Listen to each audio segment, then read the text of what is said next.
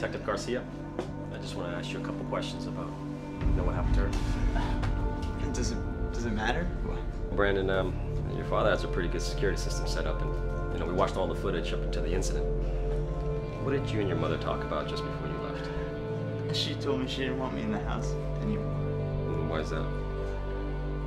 She, she, she didn't agree with the pro- school project that I was in. Wait, uh, you didn't assault her? Just minutes Fuck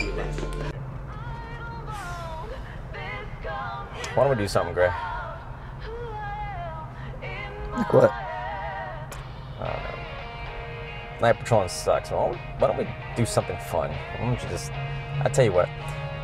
Why don't we pick up a drunk, drop him off in Suffolk, let them deal with it, get him out of our city.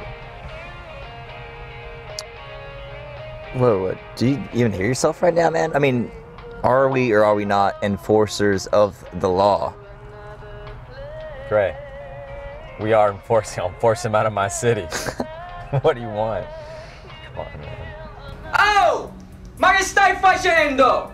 Non lo vedi siamo in mezzo alla guerra? E tu stai giocando ai videogiochi? So stronzo, va alzati, vaffanculo, madonna mia! Get out! What the fuck you doing? Don't you see we got in the middle of fucking war? You motherfucker! Yeah, yeah, go. Shit. Who the fuck? What the fuck? Oh, fuck! You motherfucker! Oh, shit! Ah, Where's Massimo? fuck you! Where's Massimo? Fuck you!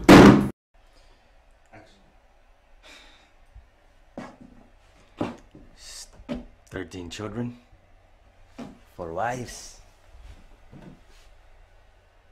and thirty civilians. I had no earthly idea what was happening. Farmers, herders, simple people.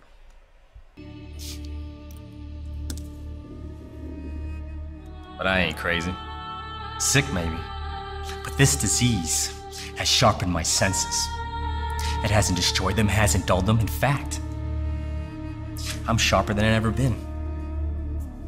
I hear things. I hear things all over this outfit we got going on here. I hear things in hell. Yeah. So, how can y'all call me crazy? Listen how calmly I can tell you what happened.